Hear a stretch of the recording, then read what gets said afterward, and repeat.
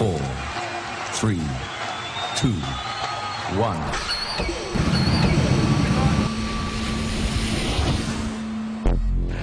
Take you on.